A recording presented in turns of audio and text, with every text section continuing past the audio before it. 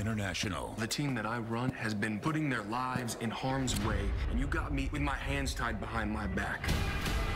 Two people died due to your special agent's actions. I blame you. A new FBI International next Tuesday on CBS and streaming on Paramount Plus.